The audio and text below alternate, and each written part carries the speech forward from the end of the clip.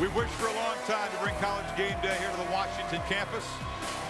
The Suzzallo Library. That's a library, gentlemen. It's a place to study. Why do you say that every reading. week to us? And, and- and- and why are you looking at David? Yeah, that's not cool at all. Geez, a real fan cam zooming over Red Square. One of the largest books in the world, I'm told, is, is in that library. It's on Look at- can. It's like the size of a person. Look at this scene out here. This is impressive. These Incredible. are football fans out Wow. Well, this defense trying to slow down the Ducks offense. If you compare Oregon to Baylor, I know they're different stylistically. Both have put up silly numbers against very overmatched defenses so far. Baylor 282 points in four games. I know it's the Wofford Terriers and UL Monroe and Buffalo, but against West Virginia, 73 points, 864 yards. It could have been a thousand if they wanted it to be. Easily. Very easily. So again, not the toughest competition, but two ridiculous offenses. Las Vegas tells us if they played, the over-under would be 100. 100. Take the over. Art Briles has had great continuity. Philip Montgomery, the offensive coordinator. Randy Clements, the running backs coach. Gino, they've been together for about 15 years, back to the, the Texas high school rank. So it's been a slow build where they are now. Yeah, that's the Briles way. He's all about continuity. But Chris, there was a time about 10 years ago where Baylor players wore replica jerseys during games because their uniform supplier didn't think they deserved the good stuff. Even their own athletic director has said that the talent level at the time was that of a decent FCS program. But now fast forward to 2013 where Baylor football is on the brink of being the next big thing.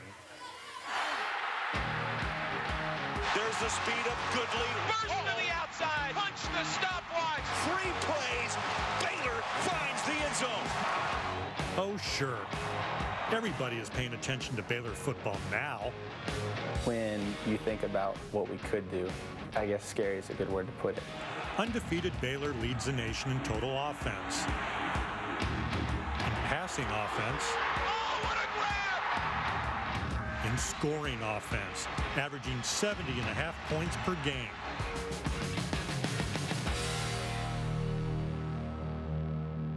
Fast, quick, touchdown. Could this offense score 100 points? Most definitely, we could, without a doubt. Baylor has become the Oregon of the Southwest. Lots of points, lots of fashion statements. We have five different helmets, three different jerseys, two different pairs of shoes. We could wear something different for five years in a row. The chrome helmets, um, they look good. It's something new. It's something that says this is Baylor. It was a big, big deal for us. A $260 million stadium project is also something new. Back in 03, uh, you said, "Hey, I need to raise $260 million for a stadium. How much money do you think you might have been able to get people to donate back then? Yeah, we would have had hard time getting the first $260 together, I think, at that point. Nothing available.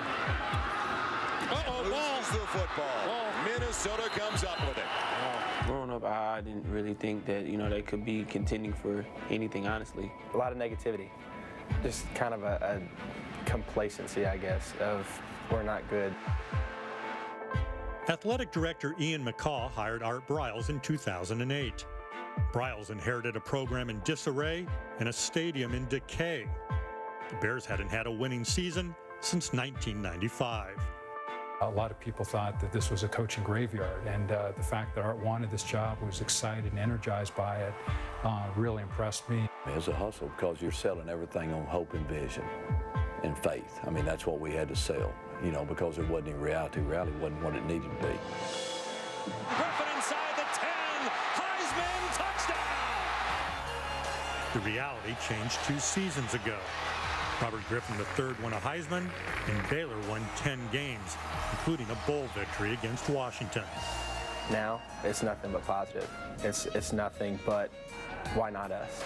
We're getting calls from great recruits all over the nation. It's a big deal now. It's good. Baylor's a good thing. As the new Baylor Stadium goes up, so do the expectations for a program once left for dead. Turns out, Baylor football is no longer in the toilet. That new stadium opens next season and replaces 63-year-old Floyd Casey Stadium, which was built for a grand total of $1.5 million. In the new place, 1.5 million gets you a suite overlooking the end zone. And Chris, Baylor fans are a little bit nervous about a possible coaching change at the University of Texas. Baylor President Kenneth Starr has said that Baylor will do everything it can to keep Art Briles right where he is in Waco. Wojo, they should. I, I enjoyed that piece. I mean, Bryce Petty, eh, eh, first year starting quarterback. I know it's early, the competition has been there. He's actually ahead of RG3 Heisman season stats. 26 yards an attempt. Is that pretty good? Yeah, that's solid. that's pretty good.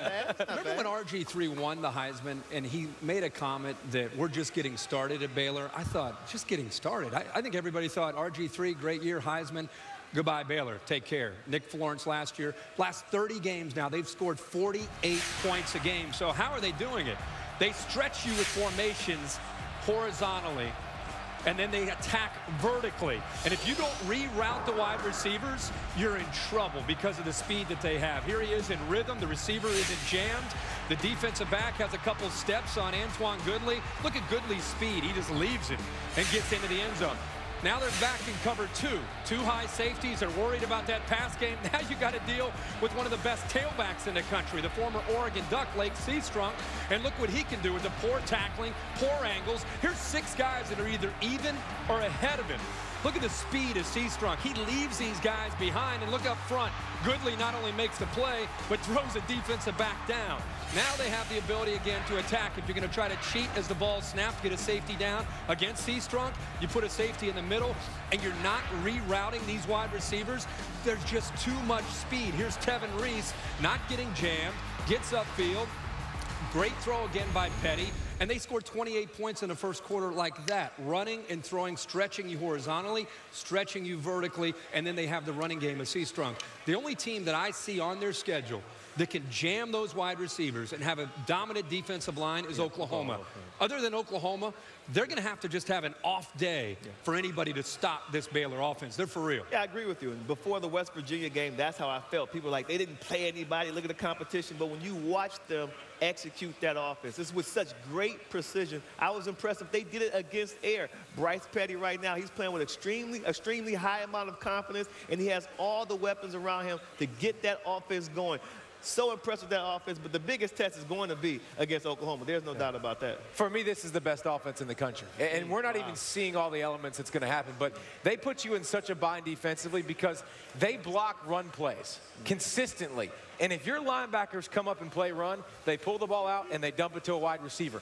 It can't be stopped. And this is a better offense than Oregon because Bryce Petty in the red zone later in the season when he's going to need to run it, big physical presence, a better running back at the running back spot. This is the best offense. That's what I think is the difference. The yeah. running back. If you swing, if Oregon, wait, wait, like Seastrunk would have stayed at X duck this game, yeah, exactly. Yeah. yeah. If he'd have stayed at Oregon, difference exactly. but now you got the first road game after four home games. The Purple Cats come home off two road losses. History says Mr. Snyder's in a, a dangerous underdog there. Any trouble any trouble for the Bears in Manhattan? I think yes. All these great things, all these great job. Honestly, this is this is the toughest challenge is when everybody tells you how great you are. For coaches that are building programs up, it's getting your players to respect opponents like Kansas State. I think I think Baylor wins, but I won't be shocked if they get tested today in Manhattan. Yeah, and, and it's so tough because everything's come so easy. Mm-hmm. So if Snyder and them can make it a little bit difficult and make them struggle a little bit, yeah. Not happen. Blowout, wipe out. I agree. I think it's going to be a blowout. A slow start though for Baylor because Kansas State will try to slow. They can't start offense, slow. You know, try to keep the ball out of the offense's hands, but then they catch fire in the second half. I got Baylor big. They probably won't score 70 like they have the last three games. But can they still shoot clock and possess the ball? When, when Collin Klein was there, that was the MO. They have not run the ball to their own standards the last Kansas couple Kansas games. Kansas State, we all know the formula is win the turnover margin, win the special teams, exactly. win the field position. They've not done that. When they've lost Oklahoma State and Texas, they're losing in those areas. They've got to button that up to have a chance. And they couldn't way, do it last year with Collin Klein. Speaking of high-scoring offenses, it was 97 years ago this week, the all-time beatdown in college football. Georgia Tech and John Heisman beat Cumberland College 222 to nothing. They had 978 yards rushing. Cumberland had 14 players. They wanted to cancel the game. Heisman said, eh, eh, come up here, because the rankings were based on margin of victory. He made him play. beat them made to them the play. ground. Was that So- no huddle offense? How do you score Was that that no many huddle? I know exactly. No mercy rule, right? Nine Let's, of yards uh, rushing will do it. Let, let, let's toast with some Seattle coffee to closer games than that today.